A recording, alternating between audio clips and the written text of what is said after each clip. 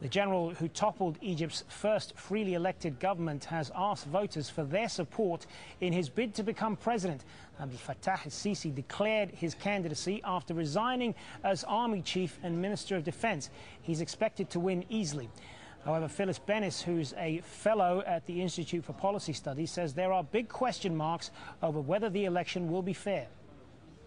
I think it's very difficult to legitimize an election that's held by an unelected government. Right now in Egypt, there's no one in power who was elected.